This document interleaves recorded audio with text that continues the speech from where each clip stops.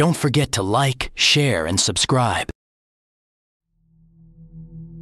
You said you'd give your life for this planet to be spared. Well, I accept, Miss Rose.